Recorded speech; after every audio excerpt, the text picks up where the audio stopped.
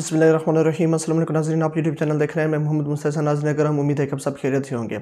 नाजिक्रम बड़ी alarming situation आ चुकी फिर से ज़राए के मुताबिक मुबैना तौर पर जो खबर निकल कर आ रही है, जी कि पुलिस अफसरान दोबारा से इकट्ठे किए जा रहे हैं पूरे पाकिस्तान से। और ये पुलिस अफसरान के बड़े लोगों ने अहकाम जारी की कि जो भी लोग तीन बजे तक थानों के अंदर अफसरान ना आए तो वो खुद को मुअत्तल ही समझें। यहाँ पर एक फिर से दोबारा बड़ी पेशरफ होने जा रही है। यहाँ पर लाहौर जमात पार्क की तरफ़ आज फिर एक बड़ी कार्रवाई की पेशरफ की जा सकती है। इस चीज़ की खबरें जो निकल कर आ रही है, वो नाइन्टी हंड्रेड परसेंट निकल कर आ रही है कि जी आज दोबारा से हमला किया जाएगा जमान पार्क के ऊपर। और इमरान खान साहब को फिर से गिरफ़्तार करने की आज एक बड़ी कोशिश की जाएगी। या मैं यहाँ पर यह कहूँ कि इमरान खान साहब को गिरफ़्तार किया जाएगा। नाजिकम यहाँ पर ये जो खबर निकल कर आ रही है, वो बिल्कुल भी अच्छी नहीं। पहले तो तकरीबन कुछ इजला की पुलिस बताई जा रही थी। अब जहाँ जहाँ से भी पुलिस की मदद मिलनी जा सकती है, वहाँ से पाकिस्तान के अंदर से पुलिस को मंगाया जा रहा है।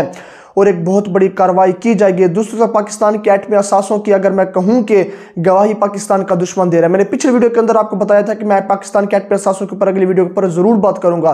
तो नाजिक्रम ये बड़ी अलार्मिंग सिचुएशन इससे पहले मैं खान साहब अपने खिताब के अंदर कहा कि निगरान वजी पंजाब के खिलाफ कत्ल और आई जी समेत पुलिस अफसरान के खिलाफ मुकदमा करेंगे।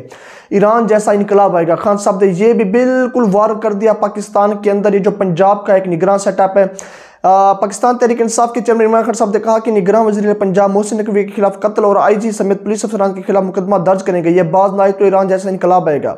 जमान पार्क हमले में मुलविस एक एक अफसर के खिलाफ केस कर रहे हैं। हालात कंट्रोल से बाहर हो रहे हैं। इलेक्शन के ऐलान के बाद दफ़ा 144 केस कैसे लग सकता है? ना ज़िक्र अब वहाँ पर बात करते हैं जी एट पी पाक वर्क के ऊपर। आप देखिए जिस तरह से शाह महमूद कुरैशी साहब ने इसहाक डार साहब को अड़े हाथों लिया कि एक सैनेट का मिनिस्टर कैसे पाकिस्तान के एटमी असासों को डिफेंस कर सकते हैं। और कैसे मीडिया के ऊपर बैठ कर ये कह सकते जी आईएमएफ के हवाले से हमने कोई भी एटमी प्रोग्राम के ऊपर बात नहीं की। हालाँकि आईएमएफ का एटमी प्रोग्राम से क्या लेना देना?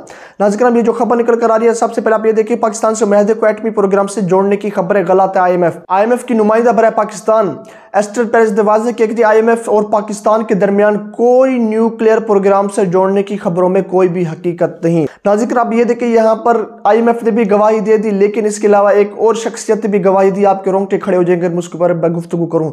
एस्टर प्रेस ने अपने वजाती बयान में कहा कि पाकिस्तान के एटमी प्रोग्राम से मुतल कयास सरायों में किसी किस्म की कोई हकीकत नहीं, हमारे मुजाकर सिर्फ़ माशी पॉलिसी पर हो रहे हैं। उन्होंने कहा कि पाकिस्तान से मुजाकर माशी मसाइल और बैलेंस ऑफ़ पेमेंट का मसला हल करने पर हो रहे हैं। एस्टर पेरिस का कहना था कि मुजाकर आई एम एफ़ की पॉलिसी के मुताबिक माशी इस्ताकाम की बहाली के लिए हो रहे हैं। ये आई एम एफ़ की एक तरदीद सामने आई कि हमने कोई भी न्यूक्लियर के ऊपर, कोई भी पाकिस्तान के एटमी असासों के ऊपर यहाँ पर कोई भी मुतालबा नहीं किया ना हम करेंगे और हमारे जब माशी पॉलिसी के ऊपर कोई यहाँ पर मामला चल रहे हैं। लेकिन बात यहाँ से शुरू होती थी। तारीख में पहली बार ऐसे कि जी एक बयान निकल कर अमेरिका की सेंट्रल कमांड के सरबरा जनरल माइकल कुरेला ने कहा कि अमरीका पाकिस्तान के एटमी प्रोग्राम से मुतमिन है। एक बयान में कमांडर सैनेट काम ने कहा कि आर्मी चीफ जनरल आसम के साथ बेहतरीन ताल्लुक हैं। मैंने आपको बताया था कुछ ही हफ्तों पहले कि यहाँ पर जनरल सैयद आसम साहब अब जो रिलेशनशिप है, यहाँ पर अमेरिका के साथ वो बढ़ाने की कोशिश कर रहे हैं। आज ये देखिए कि सेंट्रल कमांड के ये जो एक ऑफ़िस है जनरल माइकल कोरेला ने ये भी कह दिया कि हमारे ताल्लुक जनरल सैद आसिम मुनीर के साथ बहुत बेहतर हैं। अब मैं आगे आपको क्या ही गुफ्तु दूँ और आगे मैं ये जुम्मन खान साहब के साथ कयास आराएँ और कार्रवाई शुरू हो रही हैं। जिस तरह से आज भी धावा बोला जाएगा जलसा भी करने का इमरान खान साहब एक पुरमुतमई नज़र आ रहे हैं, लेकिन आप ये देखें कि यहाँ पर कौन से मामला पेश है। जब आपके मुल्क का दुश्मन, आपके मुल्क के आर्मी चीफ की गवाही देखे कि हम इसके साथ हमारे ताल्लुक बहुत अच्छे हैं। और मैं क्या कहूँ? इसके अंदर आप ज़रा गौर तो करें कि जब अमेरिका, जब इस मुल्क का सबसे बड़ा दुश्मन जिसने पाकिस्तान के अंदर दहशत गर्दी फैलाई, पाकिस्तान की जानों को कुर्बान किया, आज उसके मुल्क के कमांडर के ये गवाही सामने आ रही जी हमारे ताल्लुक आर्मी चीफ के साथ बहुत बेहतर हैं। अब मैं और क्या कह सकता हूँ? उन्होंने कहा कि अमेरिका पाकिस्तान के एटमी प्रोग्राम से मुतमिन है, पाकिस्तान का जोहरी निज़ाम महफूज है। अमरीकी जनरल कोरेला ने मजीद कहा कि पाकिस्तान को इस वक्त दहशत गर्दी बजट, माशी मसाइल और सियासी कशीदगी का सामना है। ये भी आप इस चीज़ की यकीन दहानी करा रहे हैं, जनाब आला ये जो कमांडर साहब हैं कि पाकिस्तान के अंदर वाकता माशी हालात ख़राब है। पाकिस्तान के अंदर दहशत गर्दी वाकता बढ़ रही है। इसके अलावा पाकिस्तान के बजट के भी मसाइल हैं। अब यहाँ पर ये पाकिस्तान के हालात की गवाही मौजूदा फेडरल गवर्नमेंट से कोई सुनने को तैयार नहीं। अब यहाँ पर अमेरिका की तरफ़ से ये जो जनरल माइकल कुरेला कमांडर साहब है जी, अब ये गवाही दे रहे हैं। उनका कहना था कि जंग बंदी की खात्मे के बाद पाकिस्तान पर तहरीक तालिबान पाकिस्तान टी के हमले बढ़ रहे हैं।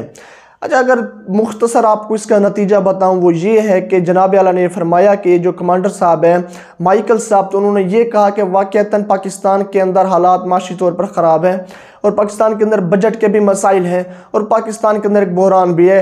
और इसके अलावा हम कोई भी एटमी प्रोग्राम के हवाले से ये जो आजकल ख़बरें चल रही है, वो झूठ है। हम मुतमिन है कि पाकिस्तान का एटमी प्रोग्राम महफूज है। और हमारे ताल्लुक भी जनरल सैयद आसिम साहब के साथ बहुत अच्छे हैं।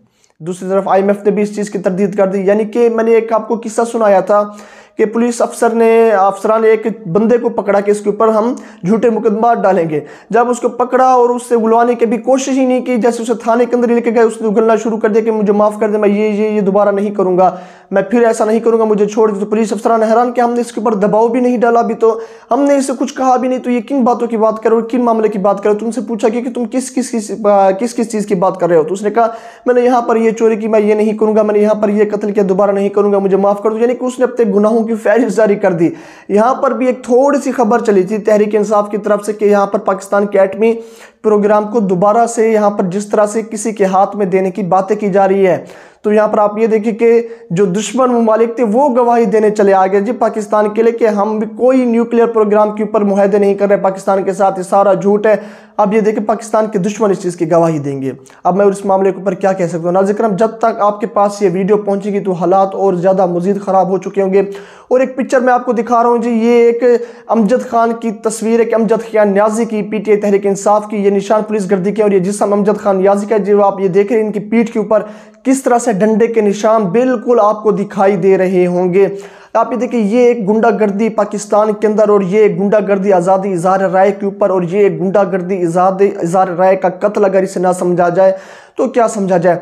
दूसरी तरफ़ हम ये भी मुतालबा करते हैं कि पाकिस्तान के चीफ जस्टिस उमर अता बंदियाल साहब इन मामला के ऊपर आज खुद नोटिस लें, क्योंकि अब यहाँ पर हालात बिल्कुल कशीदगी का शिकार हो चुके हैं। शायद आपके पास जब ये वीडियो पहुँचे या शायद जब आप ये वीडियो देख रहे हो, तब हालात और ज़्यादा ख़राब हो चुके हैं, क्योंकि यहाँ पर पुलिस ज़रा से मुबैन तौर पर ये खबर निकल कर आ रही है जी। अफसरान को इकट्ठा किया जा चुका है और अब यहाँ पर धावा बोला जाएगा लाहौर जमान पार्क के अंदर। एक आखिरी बहुत बड़ी कोशिश नहीं कहूँगा कि आखिरी बार इमरान खान साहब को गिरफ़्तार वाकता किया जा सकता है, अगर पाकिस्तान के आवाम ने होश के नाखुन ना लिए।